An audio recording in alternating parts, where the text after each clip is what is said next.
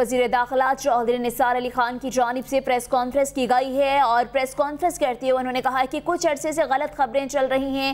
کبھی نہیں کہا کہ زبان کھولی تو میاں صاحب منہ دکھانے کے قابل نہیں رہیں گے۔ چکری میں میری تقریر کو میڈیا پر غلط طرح سے چلایا گیا اور نواز شریف کے ساتھ میرے اختلافات پچھلے ایک سال سے جاری ہیں۔ میاں نواز شریف کے ساتھ سیاسی اختلافات ہیں، کوئی ذاتی اختلاف نہیں ہے۔ کسی کی ذاتی زندگی پر بات کرنا میرا طرز سیاست نہیں۔ ایک خبر چلی کہ میں نے سیٹ ایڈجسٹمنٹ کر لی۔ میں نے کسی پارٹی سے سیٹ ایڈجسٹمنٹ نہیں کی ہے۔ قوم اور حلقے کے عوام کے سامنے رکھوں گا۔ آزاد الیکشن کیوں لڑ رہا ہوں؟ اس وقت نارمل حالات نہیں ہیں۔ میں الیکشن مہم پر ہوں۔ چار حلقوں سے آزاد حیثیت سے الیکشن لڑ رہا ہوں، جبکہ چار حلقوں سے الیکشن لڑنا آسان کام نہیں ہوتا۔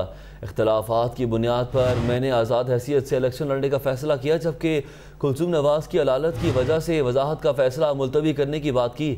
انٹرویوز نئے لوگوں کے ہوتے ہیں، آٹھ بار وزیر رہنے والوں کا نہیں ہوتا۔ نواز شریف یا پارٹی کو نقصان پہنچانے کا سوچ بھی نہیں سکتا۔ اگر بغاوت کرتا تو بہت سے ایشوز تھے۔ میرے لیے وفاداری یہ نہیں کہ ہاتھ باندھ کر لیڈر کی ہاں میں ہاں ملاؤں۔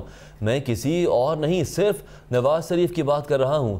اختلافات حد سے بڑھے تو خود کو وزارت سے الگ کر لیا۔ شاہد خاقان عباسی سے کہا کابینہ میں نہیں آؤں گا۔ میں نے پارٹی سے وفاداری نبھائی۔ میں کسی بس کی تلاش میں نہ انتظار میں ہوں۔ آزاد الیکشن لڑنے سے متعلق وضاحت ایک اور پریس کانفرنس میں کروں گا۔ ایسا بھی کہنا تھا چودھری نثار کا جو کہ آج شام پریس کانفرنس کر رہے تھے۔